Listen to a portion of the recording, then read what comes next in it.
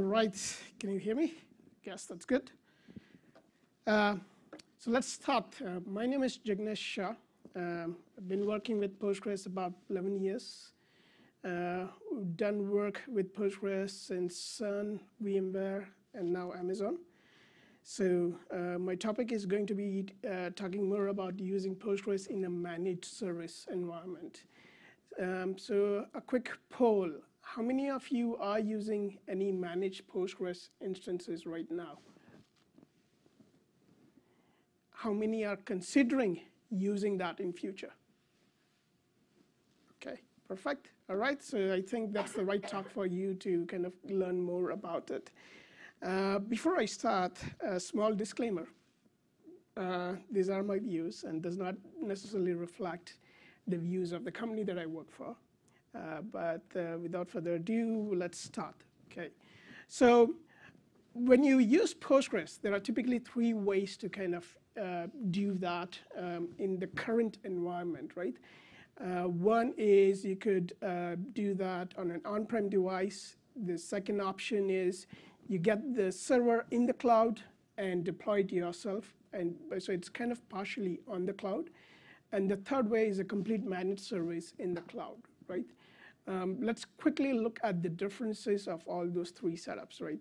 Uh, when you do on-prem, you are basically taking ownership of everything to be done right from purchasing the server, which sometimes takes like months, to kind of setting it up, which takes about weeks, to kind of then installing the database server, making sure you have the right configurations and everything, which could take days. By the time you are ready to use it, it could be a you know, fair amount of time. The, uh, the number I've heard from various people is it would be anywhere from two weeks to six month period on when they decide to kind of go with a server installation and when they finally are done and ready to use it. This is where cloud is very helpful, which is the next uh, way of deploying Postgres. So Postgres in the cloud is you spin up a VM somewhere in the cloud, you don't know where, you then log in into that VM, install your own Postgres version, and then you do all the patches or extensions that you need, and you, then you start using them. Um, so that is an advantage because now you're not really uh, maintaining the hardware yourself. It is very quick because all you do is pull out your credit card number, enter it in, and spin up a VM. So it's as quick as like doing that like in uh, a few minutes, uh, but you still spend time configuring the layout, configuring Postgres, uh, setting it up, making sure you're getting the right binaries and everything and setting it up. So you have essentially cut down your setup time from weeks to months to days. And uh, the thing is, you still have to do a lot of things yourself. You still have to patch the operating system. You still have to patch OS with uh, any security fixes that you need to get. You need to patch the database as new minor version comes in. Uh, and what essentially for the business that it means that they are not really spending that much time on the core business value that they want to do, but on administration side um, for maintaining the data for their business, right? And this is where I think managed services are really proving to be a boon as a value uh, proposition is that frees up businesses to focus more on their applications and not on the data administration side of it. Mind you, this does not mean that you do not need DBA. I've heard that term multiple times. Uh, it only means that you are basically offloading, managing your pure installation the backups, and uh, probably doing the patching work. You still need DBA. You need to know how a particular engine that you use works. You need to figure out how to do your own tuning and other things. But it greatly simplifies uh, life of a DBA. Uh, from what I've heard is, like, you know, in the old days, a DBA was managing one DB at a time. Then it grew up. They started managing tens of DBs lately I've heard the number is rising to like hundreds of dB per DBA to like in some cases even thousands. So you know the number of DB uh, database uh, a particular DBA manages is increasing rapidly, and the way the managed database services help them is basically essentially scale out what they do as such. Yep, right. So I've talked about managed services, right? And we all know and love how to set up database. Now, what you want to know is like when I get a managed database service, what do I really get, right? And what am I losing, or what are my kind of like you know I've heard people say limitations. So let's kind of talk more about that in detail, right? When you get an instance which is managed, essentially what you get is a locked down Postgres instance. Now, what I mean by lockdown instance is you do not have an ability to SSH into that OS of that managed instance, right? Do you need a reason to log in? I mean, yeah, I always had that feature, but uh, there are downsides of giving access to the OS out there, right? So um, think of it more as an appliance that you're getting. Um, you know, you basically uh, how your router works. You just bring it, plug it in, start up, and start using it. You don't really try to log in and look at how it's doing its file system layout and kind of like tweak into that, right? So that's how the behavior, the experience of a managed uh, Postgres instance in the cloud typically behaves at this. Um, there are other advantages of that. You do not have any random software, which means there are very less likelihood of anything breaking for you. You you essentially get like a homogeneous deployment. It's kind of like a cookie cutter setup, right? You, you deploy it once, you test it out. The next time you deploy it, you essentially are kind of like getting the same thing again. So your experience is pretty consistent. So if you do kind of repetitive things again and again, um, there is no kind of like a, um, a chance like, you know, this might actually happen um, or behave differently as such, right? So that's the advantage you get with this uh, appliance-like setups.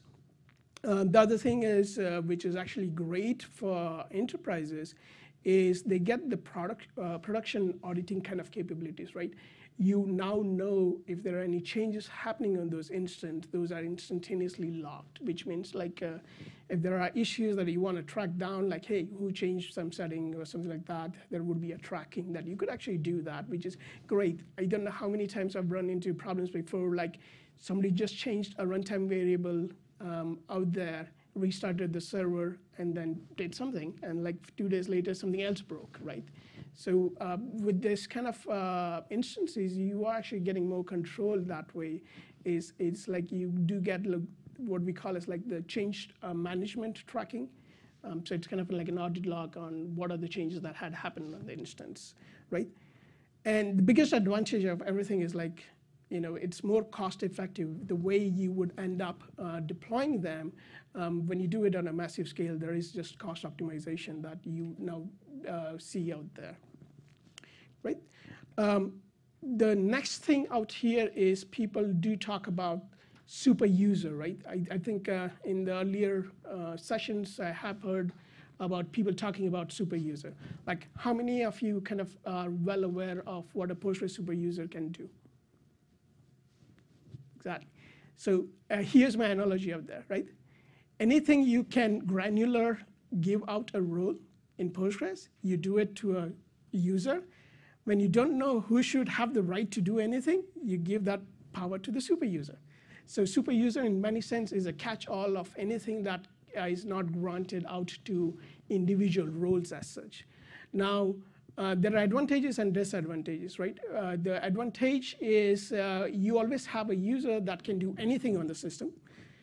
The disadvantage is the same. You can have a, a user which can do anything on the system. So essentially, that is one of the reasons why um, in a managed Postgres instance, you do not get the super user role as traditionally defined. Now, the primary objective of doing that is to make sure a user does not break into the OS shell, right? A super user actually has uh, all the rights as a user of that Unix system or Linux system to get into the system and change any files as they want. by limiting this, you are preventing people from breaking into the OS. Um, most uh, variants now would give out uh, uh, what is known as like a limited super user role, which has most of the capabilities that you can still do except for going into the OS side of that uh, roles. So for example, you know, I still want to be able to terminate a query and I need administrative rights for that. So you, you do get like what is known as uh, cloud provider specific super role that you can uh, um, grant it to a user and you are still able to do those same things. Uh, in some cases, there may be variations that you would do that. Like for example, uh, you may not get a direct access to pgconfig uh, where you can change parameters dynamically, but you can still read and make special calls to make those changes. The reason for that is they typically go through an auditing layer, so it is tracked on who are making those changes. Questions on this? Nope, good, perfect. Um, interacting with a managed service, right? Managed service typically means that all your standard clients will work as it is. Um, so you can use any of your favorite client, pSQL, pgadmin, npgsql, JDBC driver, or ODBC driver, anything that talks Postgres will talk with the managed service. Typically, there are no limitations on that. Uh, typic, uh, what you would also see that for all the other administrative things, there would be a separate CLI provided, which would be doing more of the high-level administrative tasks. And those tasks could be, I want to reboot the Postgres server, right? That would be an administrative task. Uh, you wouldn't be doing that through the pSQL client, which means you need another client uh, access to do that in a programmatic way. So most cloud providers will give you a CLI access to do those administrative tasks. It could be uh, used for doing multiple things, uh, you know, kicking off a backup, uh, creating read replicas, promoting a read replica. So various administrative tasks uh, would be done through this uh, cloud-provided CLI. Um, using the combination, you, you should be essentially be able to automate everything you need to do. Um, the only caveat that you would see is like uh, the administrative user will have different credentials than your uh, DB super user but that is because it is going through an infrastructure admin. So it is kind of similar to uh, what I call as the root access for your Linux system compared to the super user role. So this is how you should typically kind of uh, correlate them. Using the combination, you are now essentially able to do everything you could do on your regular Postgres server. Um, what I have seen is many people actually use the combination of the two to kind of write their own tools on top of that. Like I want to do my own uh, um, uh, event monitoring, and based on this event, I want to trigger more replicas, right? So you could use this framework to kind of cook up your own workflows on top of this. So this is very possible, and many people do that. Yep. Um, so the next thing I want to do is uh, talk about is configuration parameters. So Postgres is famous for hey, I have a problem. There is a configuration variable for that, right? You can tweak that and you can fix your problems. Um, most of these configuration variables are actually provided through an, another setup in most cloud provided um, in the managed services.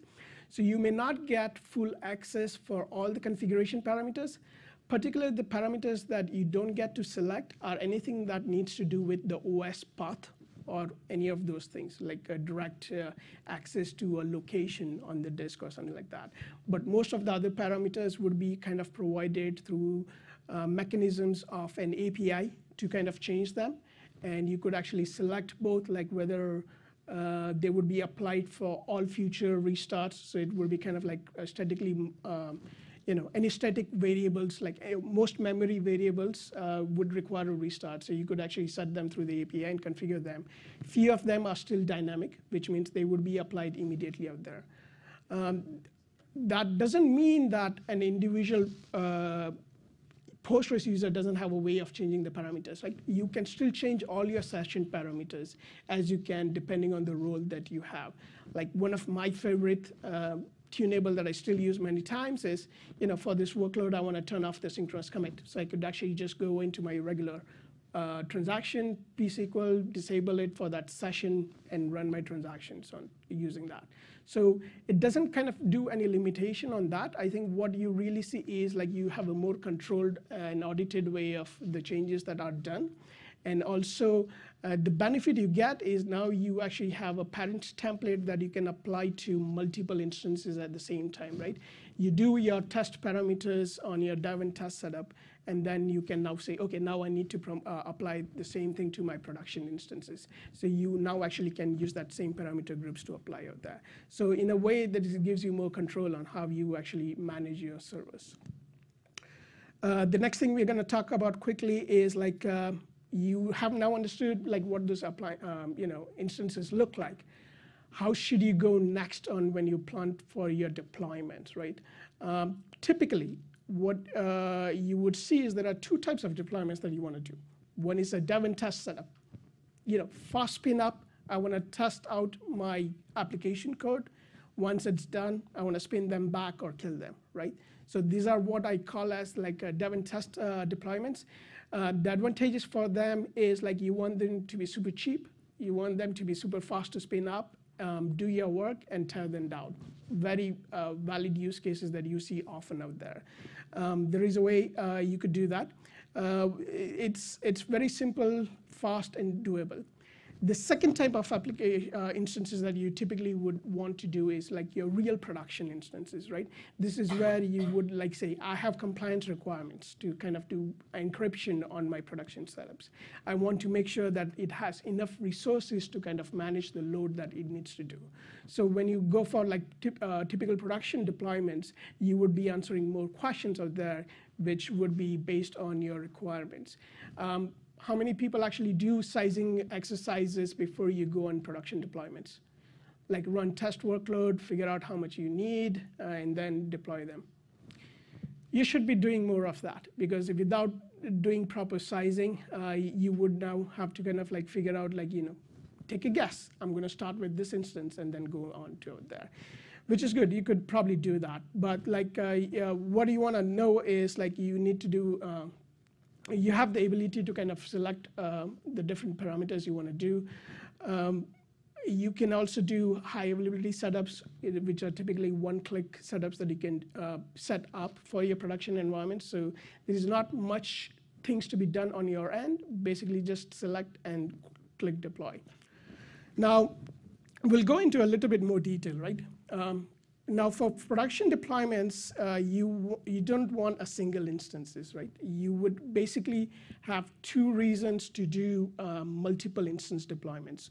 One is for high availability, which is you want to have like a, another read replica that you can quickly promote uh, in case of problems if you want to do that manually. The second thing is offloading your read queries, right? So you would basically do like a, a deployment with a read replica. Now, in the modern days, uh, there are uh, requirements that you would see that I also need to be DR ready, where you should have like an offsite deployment also ready to kind of take over if your whole site goes down. So this is kind of like one of the common things I'm seeing right now. Like people, when they do this production deployment, they do it uh, typically with one replica in the same geography as they are running a production environments, which is used for fast failover needs or you know doing off uh, uh, offloading the read queries, and then they would uh, also have a, a cross geography read replica more for DR purposes. Like if a site goes down, like maybe the whole network pipe out there got lost, then they can quickly roll over to uh, offsite and uh, do a disaster recovery planning from that. Um, people also use that for disaster planning uh, testing that they do. So often what they would do is they would kick off the uh, read replica, cross-region read replica, and then do promotion to do DR test, which is actually a very common uh, enterprise uh, testing requirement that you have to do every now and then. I've seen. So that's kind of like the idea. You would use this to kind of uh, figure out like uh, what is the deployment architecture you want to do. Uh, the next thing I want to do is like by default, uh, you know, we, uh, we all know that Postgres is secure, right? So oftentimes we do uh, changes out there in your PGHBA configuration. I think, how many of you uh, do those changes yourself? Right, perfect. Um, so how does this work in the cloud environment? Because I've talked about this, you do not get access to the files. It's an appliance kind of thing, lockdown, right? So let's look at how uh, it is done in the cloud, right? The first thing we need to be aware of, uh, there are clear kind of demarcations that you would see on security. So there are two levels to way think of it, right? Typically, the cloud provider takes the security responsibilities of the compute and the storage and the internal network. The PostgreSQL manager or the DBA will take the responsibility of making sure that all the external networks and the clients that are talking to the uh, server are kind of like in that uh, uh, list of trusted clients that you want, right? So the security is kind of like a shared responsibility between both the user as well as the cloud provider. Um, in the classic Postgres, you, you would use pghba.conf to do those same things. In a cloud environment, typically the cloud provider gives you another way, which uh, typically goes by a different name. It could be security groups, resource groups, uh, which would allow you to kind of uh, control who gets access to that server instance that you just created and uh, uh, uh, what are the authentication requirements for those, right? So it is done more at a network layer in the cloud, and you would see that. Now, few things to be aware of, right? So I mean, the, uh, um, the common way that I've seen many people do it is like they start making the databases publicly accessible. Uh, for a dev and test environment, that is okay to do. If you have a production environment, you don't want your managed database to be publicly visible. You do want to kind of disable um, the clients or the servers that can see that database server. So um, most uh, cloud providers will also give you their own virtual private network within the environment. You should be heavily using that. The public access should be restricted to your actual application web servers or application servers that are directly in the net. And the application connections to your managed Postgres instance should be coming through the private network between those two instances. So that it's a way to kind of kind of limit your exposure out there. Um, the other thing um, I've also run into in enterprises is uh, if you do want to make your database directly accessible, say for example, I want to use pgadmin to connect to it. Um, oftentimes, uh, corporate networks would not allow you to kind of connect directly to 5432. So oftentimes, if you see like connection issues, uh, what I have found is it's more of uh, the corporation's firewall preventing anybody connecting to um, the 5432 port. Um, in those scenarios, you could actually try changing the 5432 port to a more standard port like 80 and try that out. And if you connect to it, and likelihood it is your corporate firewalls that's preventing the connection, right? Um, also, if you have applications that are talking uh, in different geographies, uh, you need to figure out um, SSL tunneling between those two regions so that you don't have to make your Postgres uh, instance publicly available on the net. Mind you, if you kind of put your uh, port open for everybody, there are countless bots running trying to hack into your server, right? So the best thing to do is not um, make it publicly available. questions on that? Yeah, good, right, good. Um, so the next thing I want to talk about is actually um, sizing uh, your instances, right? We did, uh, I did talk about like you first should be doing your uh, testing on what kind of like requirements do you have on your resources for your manage, uh, for your database servers. Based on that, you should be selecting how many, how much CPU, memory, and I, um, you know, I/O requirements your deployment would need. Um, there is a thing that said, right, throw hardware at the problem.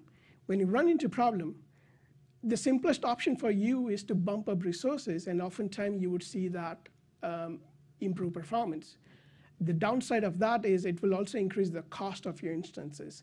Uh, most cloud providers charge based on your resources settings, right? So it will be like based on your instance size, based on your storage types. And in an often way, it is a great way to kind of like, uh, you know, get past not tuning your queries. Like, I have few things that's using CPU, uh, what should I do? Well, I can tune my query and regain those CPU cycles back. Or I don't have time right now. I need to kind of up my CPU resources and come back to it later. Um, the advantage of actually using managed services, it's actually very easy to kind of scale up uh, your resources to kind of typical max. The standard limits would be your physical server settings uh, that you would uh, generally see. But for most cases, uh, people will just go on increasing their instance uh, resources to kind of address those problems. The good part about using this in the cloud is like when you fix your queries and you don't require that high resources anymore, you are also able to kind of scale down at least your CPU and memory usages. So that is like uh, often a quick way to kind of say, I'm going to throw money at the problem. I'm going to in increase my instance size, solve that problem for the load peak, uh, you know, rush load that I'm seeing. Once things are stable enough, if I want to kind of go back and lower my cost, I can actually go for a different CPU sizes. So that gives you an ability to kind of handle your short-term peak load that you're seeing um, for like, you know, special events during say Thanksgiving or, or you know, Halloween kind of events. Uh, and then you could go back to a, a, regular instance to save money. So there, these are actually uh, possibilities that is actually quite popular in the cloud environment, but very hard to do in uh, actual on-prem environment. Uh, the next thing I want to talk about is we did talk about like throwing, um, you know, increasing CPU memory and other things. Um, if you know Postgres, uh, what you need to do is when you increase memory, you also have to do uh, changes in your Postgres parameters to make sure you're using them correctly. Um, the ones that I have frequently run into is like shared buffer settings. Um, many times they are uh, could be set either to a static value, which means as you change your instance uh, resources, you are not availing of those uh, new uh, memory that is now available to you. Uh, the other issue that I've often seen is people do use that as a percentage of their actual instance memory, but based on like the number of connections you see, they need to be appropriately tuned. So irrespective of what um, you know the default values are, you need to understand your own um, deployments you need to, the few things that you need to take care of is like, A, how much of concurrent connections do I have for my server? Uh, B, what kind of like queries I'm going to run? Are they going to be simple or would I require a higher work mem? And using that, you want to kind of reevaluate the settings for that uh, instance as such. Um, if you do that wrong, your instance would be swapping, and that would be a big no-no not to ever go out there. If you do it right, you actually kind of like see the most optimum performance, uh, and you are basically scaling as your load grows on top of that. So it's kind of like the way. Uh, typically, what I have uh, seen is like uh, work mem can be still increased uh, without any issues. Uh, maintenance work mem, but the regular work mem, which is on a per connection basis, you need to be very careful on how you set them up. Oftentimes, uh, people bump them up significantly, and then they have high number of connections doing that, which would lead to kind of swapping in some of those cases as such.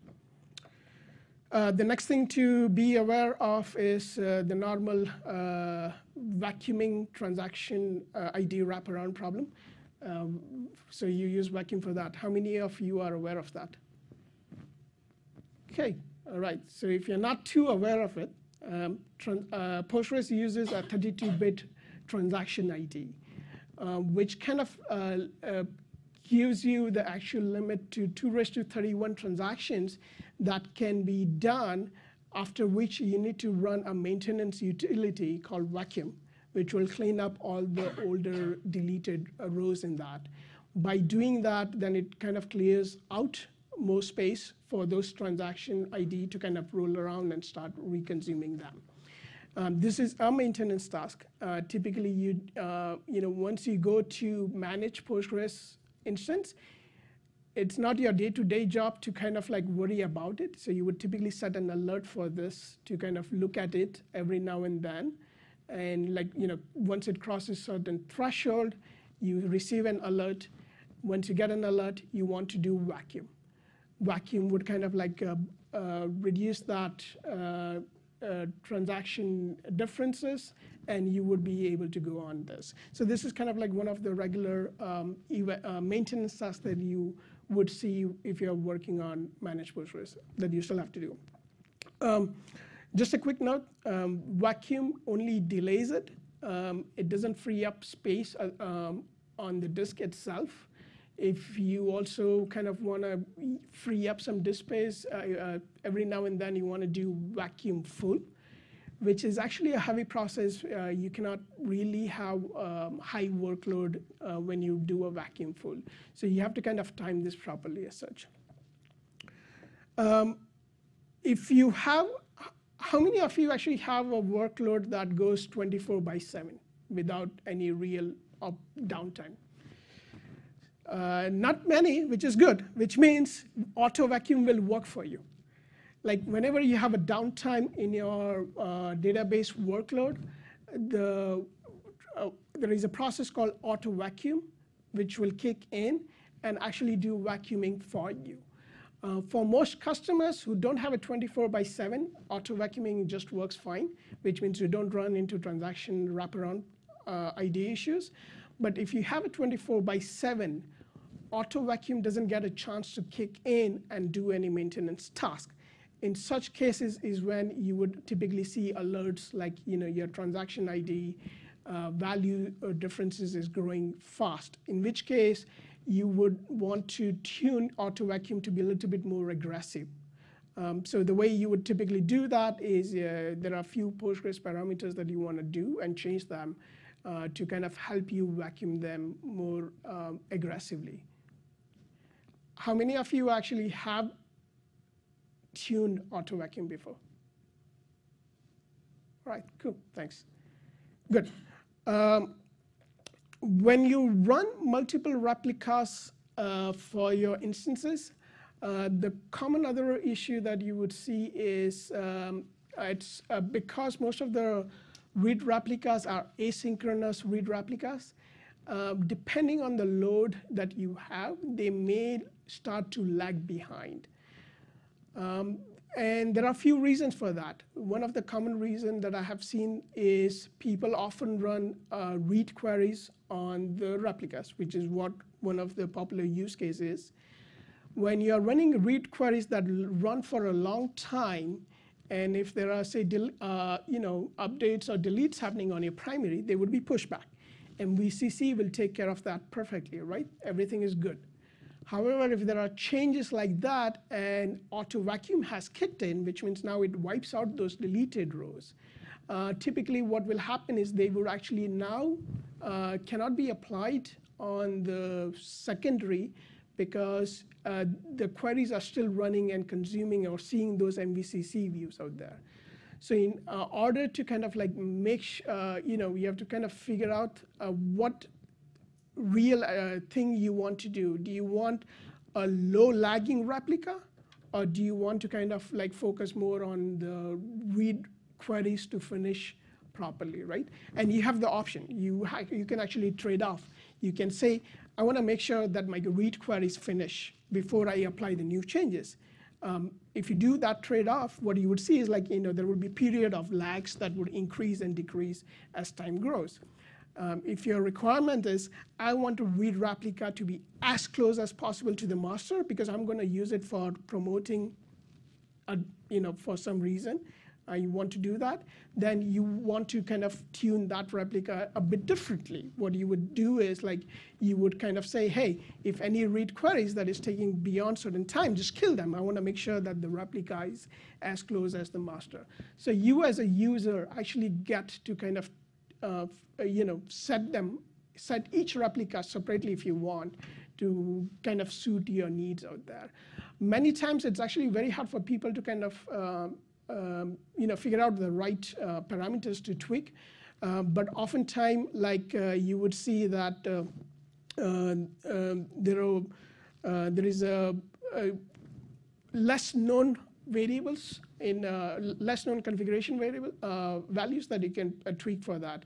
So the common is like if you want to prefer your read queries to complete and you're okay with the lag, you would bump up the max standby archive delay and max standby uh, streaming delay.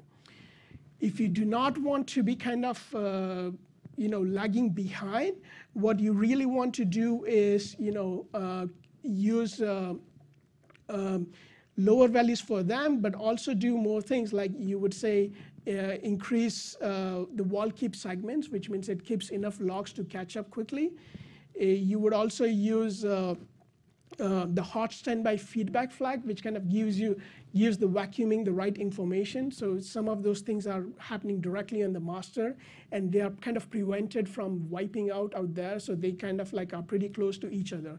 So basically, at that point of time, your replica is indicating to the master, hey, don't kind of clean out this data. I'm still using it, uh, and by you not cleaning it, I won't be lagging behind because I'll still be taking all your updates um, as you kind of give it to me.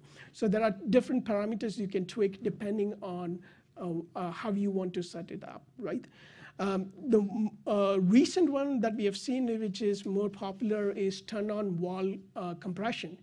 By doing that, you're kind of uh, reducing the network traffic between your master and your replica. So uh, because it would be sent in a compressed way, uh, the changes are happening faster uh, uh, by just optimizing on that bandwidth, on how much bits it would need to pass out there. The other thing uh, you can do out there is increase your checkpoint timeout. By doing that, essentially the way Postgres work is once a checkpoint is finished, all logs are written with the full pages, right? So by increasing your checkpoint timeout, you are reducing the full page writes that are happening, which kind of again lowers the total number of, uh, you know, total WAL traffic that you need to push to the replica and apply them. So these are some of the tweaks that you would use using the configuration parameters of Postgres to kind of get either your replica in line with the master or kind of tuning them for your read, uh, read queries. Okay, uh, so we've talked about kind of like the maintenance and other things. Uh, the next thing is actually moving data into a managed Postgres. Um, how many of you actually uh, use copy statement right now? What if I tell you you cannot use the copy statement as it is right now for managed Postgres? That would be a problem, right? Yeah. So uh, let's see how it's actually done. So when you're talking with uh, a managed Postgres, uh, you essentially are not using the direct copy uh, command, but you're using, uh, typically you end up using the uh, psql uh, client copy command out there, which essentially takes your local files and pushes it to the server, and the server then applies them through standard in. The copy command in Postgres is actually designed for reading the files on the server. Now, because you don't have an OS shell access, you cannot get your file to the server, right? So the way you would do that in the managed Postgres is you would use the slash copy, and when you use from file, what the psql client does is it reads it from your client and sends it to the server, and it will load it up. So this is how you actually typically load data into a managed Postgres uh, instances in the cloud. Um, the other option is if you are using P, uh, pg dump out there, you would uh, typically use the uh, pg restore command uh, if you're doing it in a custom uh, format dumps out there. And this is quite easy. Uh, one of the other things I've seen people struggle is they take a dump using pg dump all. Now, pg dump all kind of assumes it's the super user, the Postgres super user, and it will require the same Postgres super user privileges to load it back in. I already mentioned that you don't really get the same Postgres super user assigned to your um, administrative user, right? So in, in, in, those scenarios, what you really want to use is like not use the pg dump all directly, but use the pg dump command to dump data from your source that you're trying to load data in. Any questions on that one? All right, cool. Cool. Uh, if you are actually migrating, uh, if you're actually migrating from a different database um, other than Postgres, uh, there are actually free tools available uh, that you could use. Um, so actually, the company that I work for has a great tool called Schema Conversion Tool. It's actually free. You could actually point it to a source database, um, and then it would create a Postgres schema out of that database, and you could actually apply that on your managed Postgres and create the whole schema as it is from, um, uh, from a different database. And that could be any other database like Oracle, uh, MySQL, or any other database. So if you're migrating from other database, these uh, utilities are actually quite good to help you migrate the data. Right? Um, uh, so uh, uh, what uh, the second part of that is like you once you migrate the schema, you would use some uh, migration tools to now dump the data from your uh, from your database in a different format, convert it to Postgres, and load it out.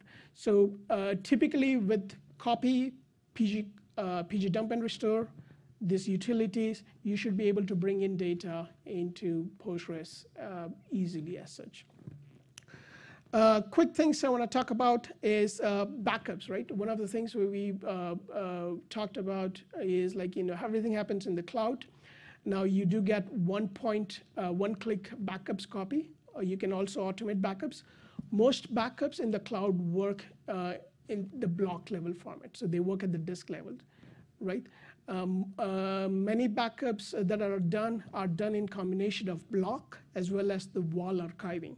So what you would see an option given by clouds is um, you have ways to do snapshots, and then you can do point-in-time recovery.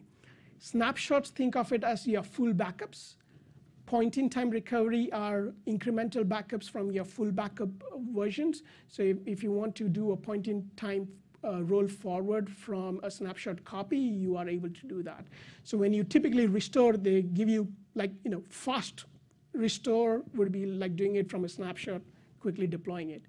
Uh, if you do point in time, it will first deploy the older snapshot and then roll for uh, apply all the WAL files after that.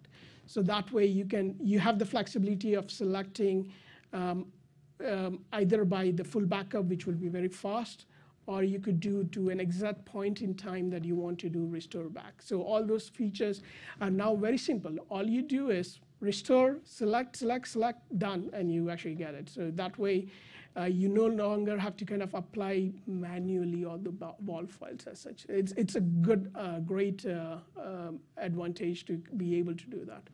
Yeah.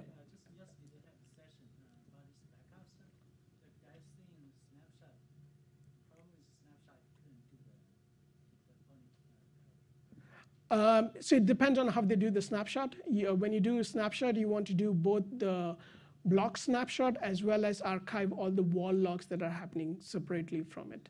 Uh, using the combination, you should be able to do that. Uh, some cloud providers don't do the full support. They only do the block level snapshot, in which case they won't be able to do point-in-time recovery.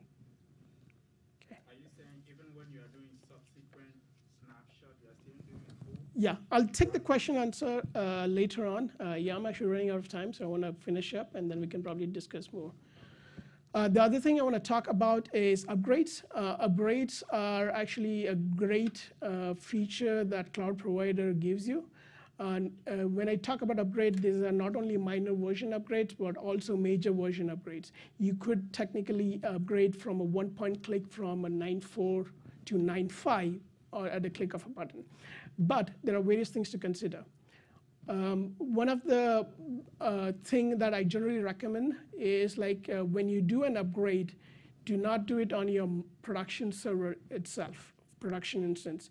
You, uh, your option typically should be to take a snapshot of that, restore it as a new database, upgrade it. Once your upgrade testing has finished, then cut over to that new database.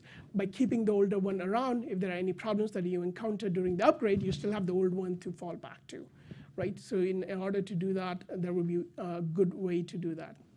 There is a second option you could actually do an upgrade, and which I generally find more faster in the kind of like the time window that most people have to work in.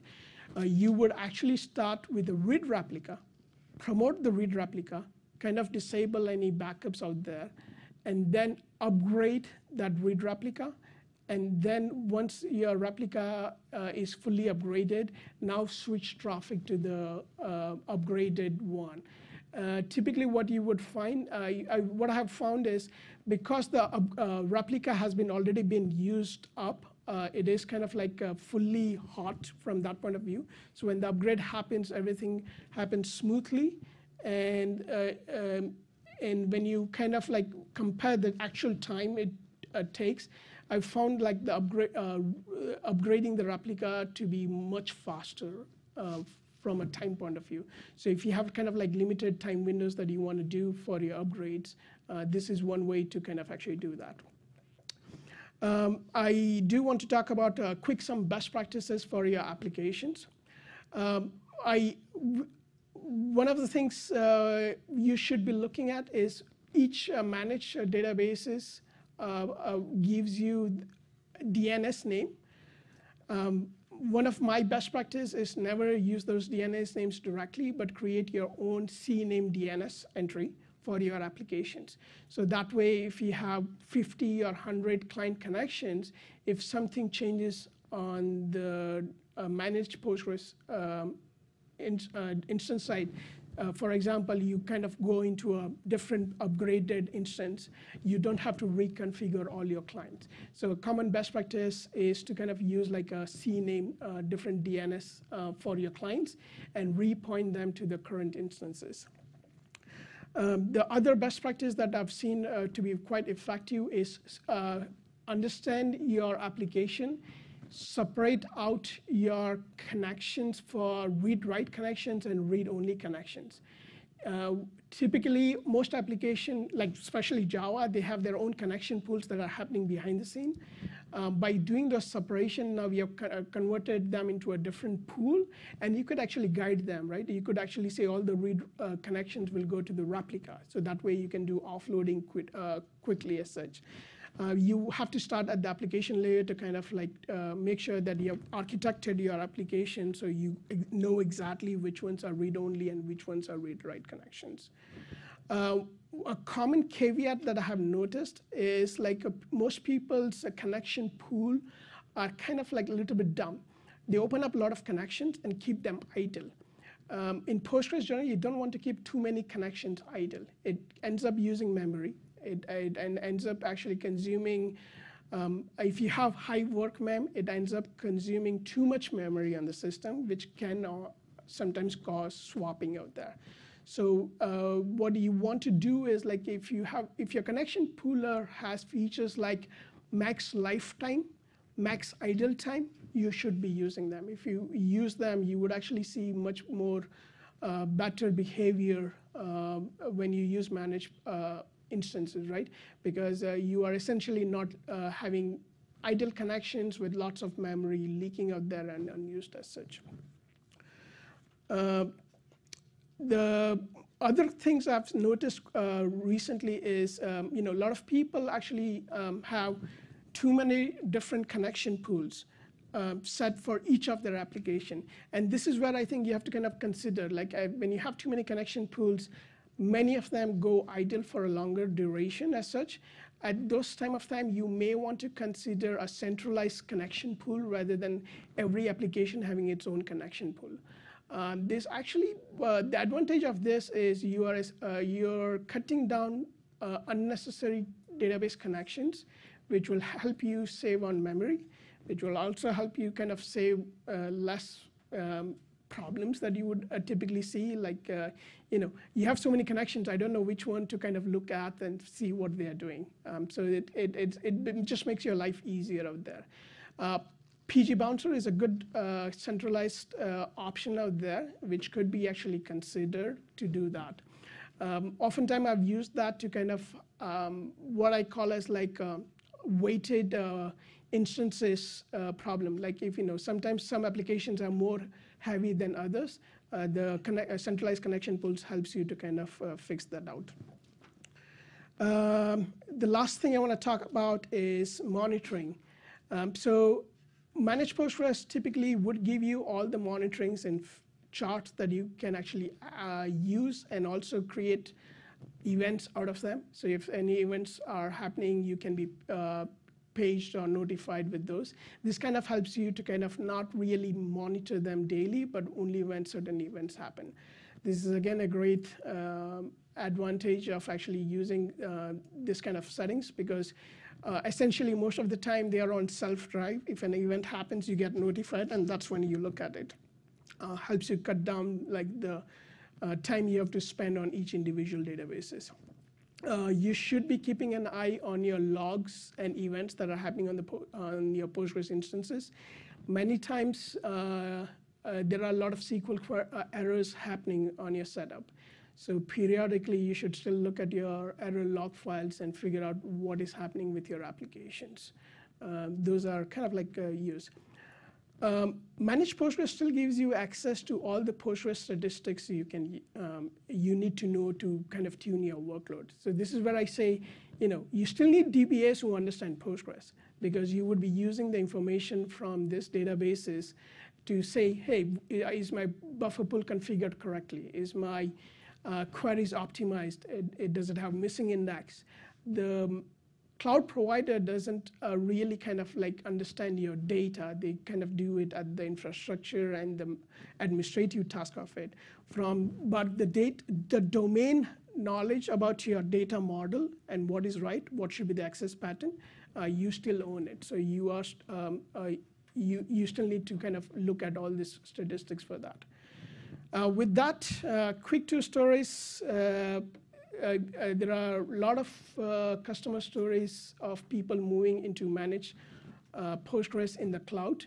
one of the customers that we worked with have, you know, tracks million, 1 million vehicles on the road, and they push all the data uh, onto a managed Postgres in the cloud. Uh, they have been able to kind of like successfully convert over from other databases, move into Postgres, and that too into a managed service. Uh, there is another customer story out there uh, which is a finance organization, uh, which kind of started with Oracle and completely then moved into Postgres, and they are also kind of moving uh, moved to manage Postgres instances, which for which they are kind of quite happy. So there are a lot of uh, user stories, uh, successful user stories in the uh, out there. If you're interested, you could actually visit us at the Amazon booth. We would be happy to talk more out there. Uh, with that, I'm actually running out of time, so uh, thank you very much. Um, if there are questions, I'll be hanging outside and probably um, uh, you know, help you with more questions. Yeah, thanks.